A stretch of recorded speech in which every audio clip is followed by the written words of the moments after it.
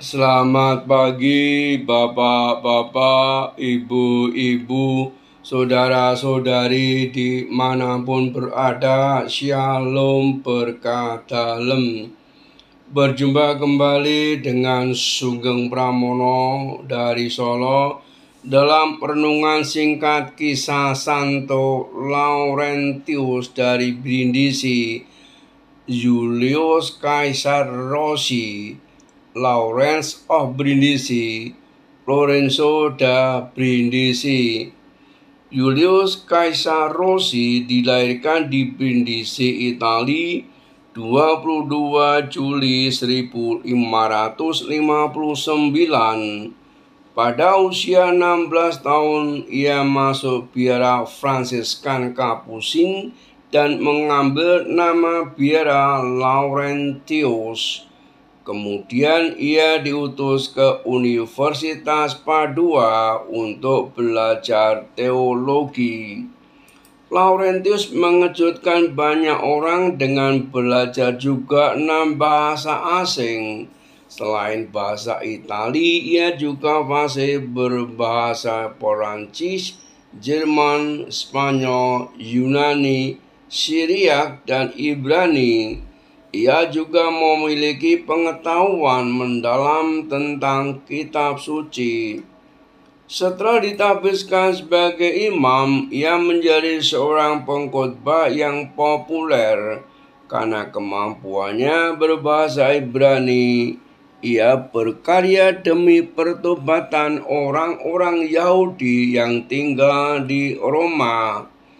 Di kemudian hari, Santo Laurentius diutus mendirikan biara Kapusin di Austria. Kaisar Rudolf II tidak mengendaki kedatangannya, tetapi kelemah lembutan Laurentius dalam merawat para korban wabah penyakit di sana melunakkan hati kaisar. Kaisar meminta Laurentius membujuk para bangsawan Jerman agar ikut berperang melawan pasukan Turki. Kala itu Sultan Turki tengah berperang dengan raja-raja di Eropa dan berusaha menghapuskan kekristenan. Laurentius berhasil meyakinkan para bangsawan tetapi para kesatria dan pemimpin pasukan mendesak agar ia juga ikut bersama pasukan ke medan perang guna menjamin kemenangan. Ketika para prajurit melihat betapa besarnya bala tentara Turki, mereka ketakutan dan bermaksud mengundurkan diri. Santo Laurentius sendiri yang memimpin pasukan ia maju ke depan hanya dengan berjubah kampusin dan bersenjatakan salib. Melihat ini para prajurit kembali percaya diri lalu bertempur gagah berani. Pasukan Turki kocar kacir dan berhasil dikalahkan. Santo Laurentius disanjung tetapi ia tidak berbangga diri di atas keberhasilannya ini. Ia menyerahkan segalanya kepada Tuhan dan memanjatkan pujian kemuliaannya baginya. Tahun 1602, Santo Laurentius diangkat menjadi superior jenderal Kapusin.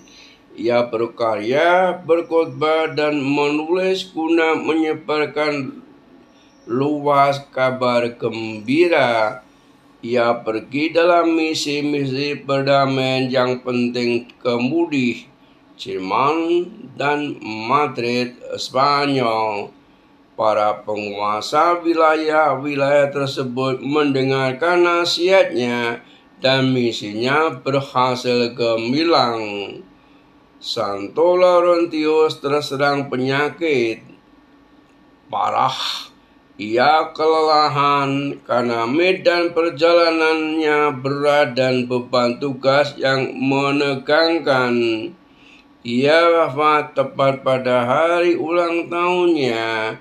22 Juli 1619 di Lisbon, Portugal oleh sebab alamiah dimakamkan di Villa Franca, Spanyol. Beatifikasi 1 Juni 1783 oleh Paus Pius ke-6. Santo Laurentius dikanyatakan kudus oleh Paus Leo ke-13 tahun 1881. Ia dihormati sebagai doktor apostolik oleh Paus Yohanes ke-23 tahun 1959. Perayaan 21 Juli Salam kasih, terpujilah Tuhan. Amin.